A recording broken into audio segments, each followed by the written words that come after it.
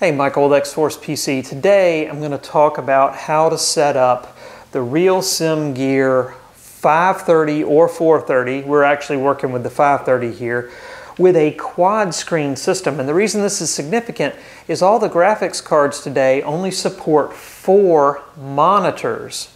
But we need five because the these Garmin or GNS 530s from RealSim Gear also, the, the 530, the 430, and the 1000, they're all considered monitors to the computer, and they need a monitor connection. So that means there's five monitors now, and as I mentioned earlier, our video cards only support four. So we're going to use the onboard graphics here. And one thing I need to mention is before you go into this, uh, you need to make sure that your chip, your, graph, your video, I can't talk, your processor supports onboard graphics. So almost all of the Intel processors do. Um, a lot of the Ryzen ones, about half of them do, half of them don't, like the Ryzen 2700, 2600, 2700X. None of those support it. But if, the, if it's an APU, it supports onboard graphics. If it ends with the letter G for graphics like the 2200G, 2400G, it supports onboard graphics. Um, and then, you know, most of the Intels do. You just Google your chip and find out if it has integrated graphics. Now, integrated graphics are slow. We do not use integrated graphics for X-Plane. It will crawl, it will be so slow. But, to, for, but for just displaying the contents of the GPS, it's perfectly fine. We don't need fast graphics for that. So it's very important that you don't use your onboard graphics for X-Plane, but it is okay to use it for your GNS 530, 430, or even the G1000. I'll eventually have a video on that, I'm sure.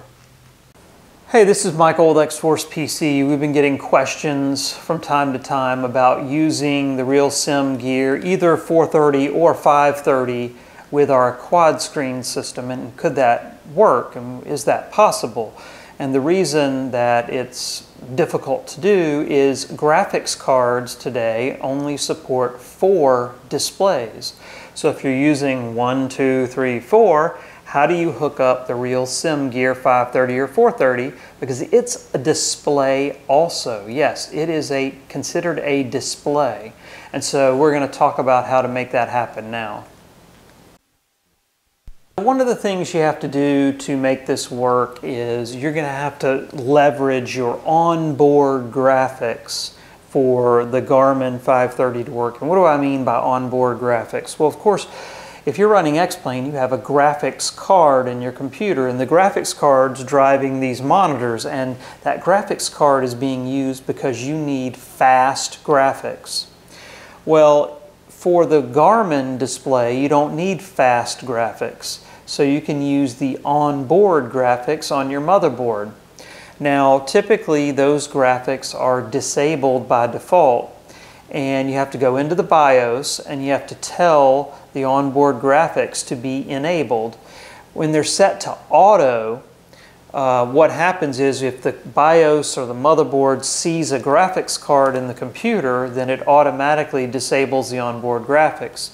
So I went into the BIOS on this computer and told the onboard graphics to, to be on or enabled even if you see a graphics card.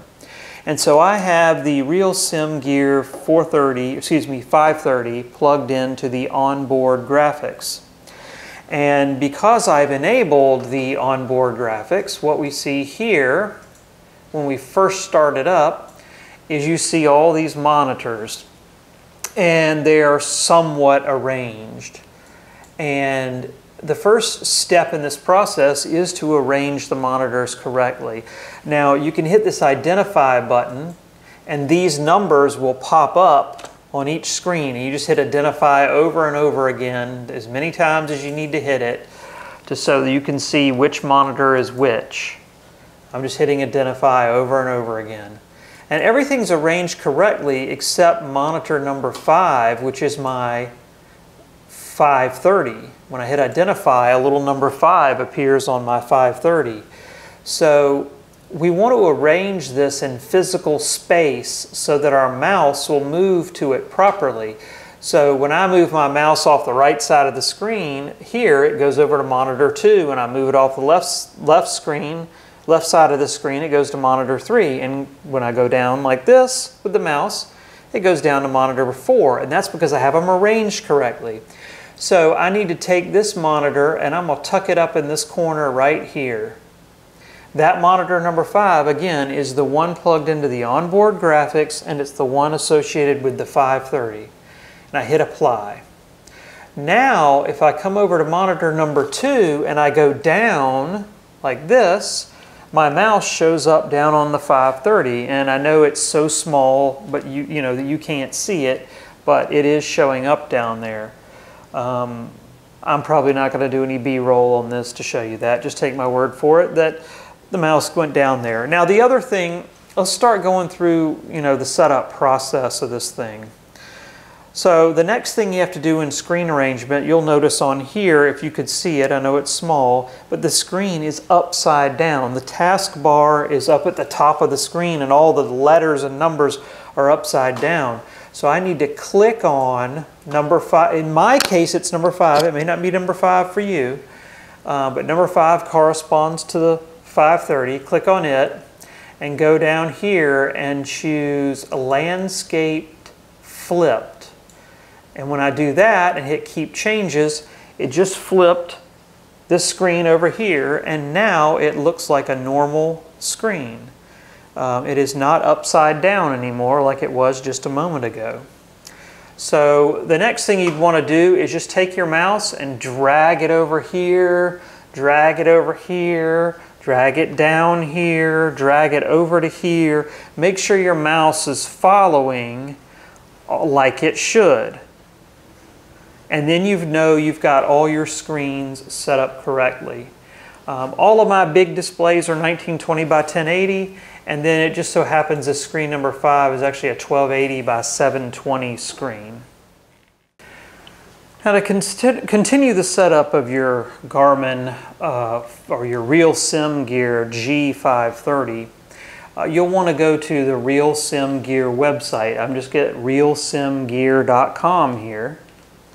And uh, click on the setup link and then go to setup guides. And you'll see one here for the GNS 530 setup guide or the 430 if you're setting up a 430. And then um, it tells you in here how to do some of the stuff that I already talked about, flipping the screen and so forth. But another thing it'll have you do is download a file and this file is a new bezel for the Garmin 530 that's built into X-Plane. And let me show you why we're doing that. This is the artwork associated with the 530 in X-Plane. As you can see, it's got all the buttons around the edges and all that. Well, we have physical buttons on here, right? So I don't want to drag this down here to this screen and have the physical buttons showing on the, have, having the virtual buttons showing on the screen. So we're going to replace it with this. It's essentially a blank uh, picture so that none of those bezels show up. And so that's a part of the directions here. You browse to, and I know you can't see it, but it's in the directions the X-Plane folder, then go to Resources, Bitmaps, Cockpit, Radios, GPS, FMS, and you're going to replace, and I'm actually going to make a copy of it um, so I don't, um, let's see, lose it, a copy of it here. And I've already downloaded the file and I'm going to uh, copy it over here and replace that file in X-Plane.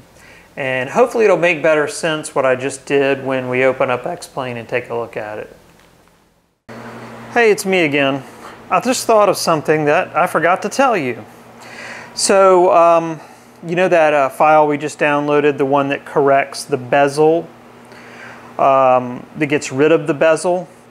The next time you do an update to X-Plane, it's going to see that that file has changed. And it's going to say, hey, do you want to replace this file? we see that it's not current, it's different. and you're gonna need to hit the skip button on that. Now, don't fret if you forget and you don't hit skip and you don't tell the X-Plane Updater to not overwrite your special file that you downloaded, you can always go download it again.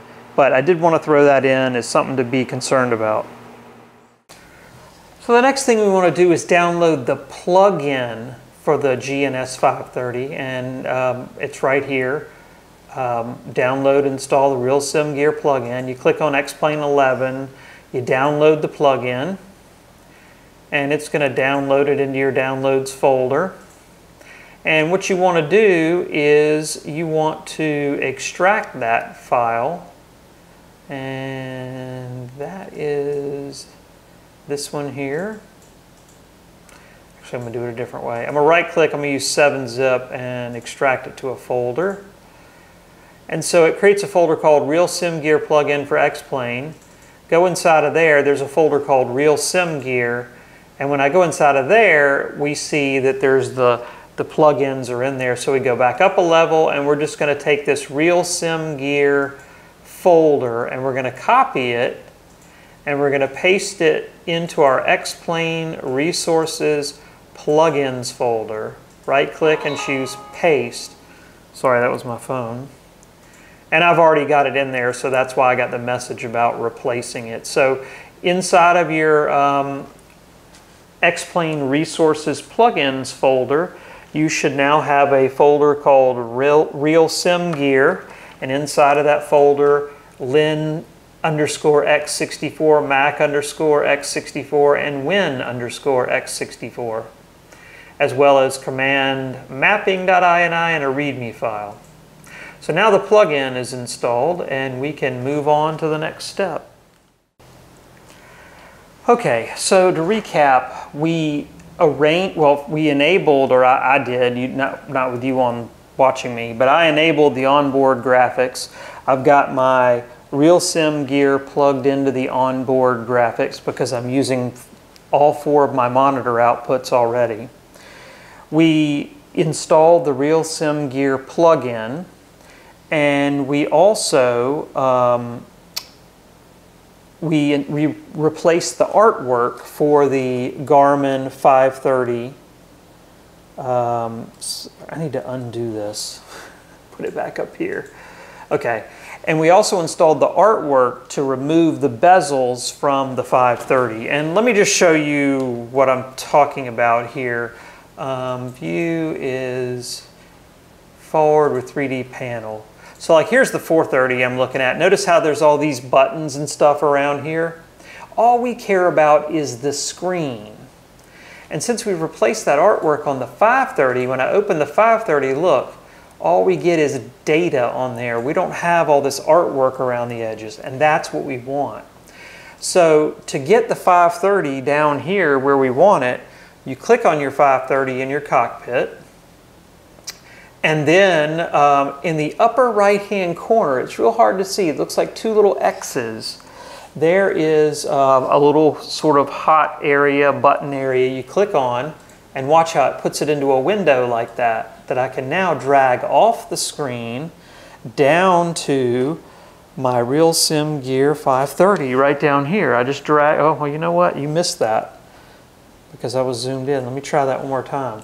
So again, I put it into a window and then I'm going to drag it down and see how it appears when I drag it down on the 530 and then I hit the little maximize button to maximize it and now my screen is down here on the 530 and by the way there is a stand for this thing we just have it sitting on the tabletop but there is a stand for it in case you were wondering um, so that's how you get the 530 screen down there. And then I could hit Control W and just have scenery only. And as you can probably tell, I'm running Air Manager down here to control or to show my instruments. And then I can also use you know, the touch screen to turn the knobs and so forth.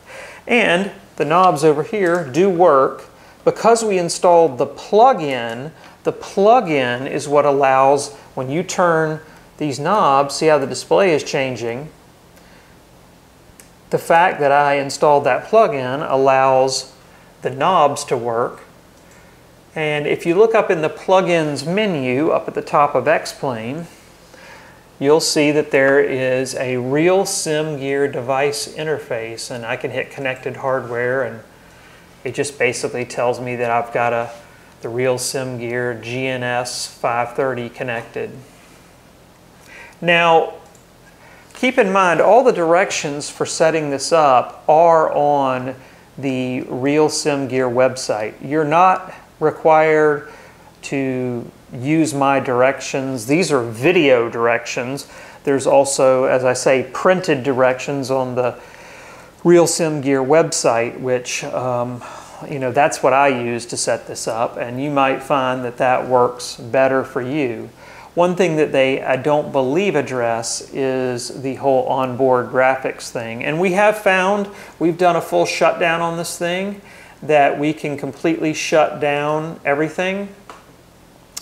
Everything's shut down now. Even shut down the whole computer, which I'm not going to do right now, uh, and fire it back up, and everything gets remembered. So I'm going to fire up my Air Manager first, which usually we recommend doing. Then I'm going to fire up X-Plane and X-Plane will remember the position of that Garmin 530 panel and, uh, and it will stick it right down there. Keep in mind if you ever unplug your monitors, move your monitors around, uh, possibly if you do a driver update, you could lose um, some of this arrangement, but you know, it, the setup is the same way again. If you ever had to redo it, you just uh, do it again. And um, let's see what we got here. I need to maximize that. And there we go. It's all up and running again. So uh, hopefully that helps you get started with the Garmin 530 and uh, using it with a quad screen package.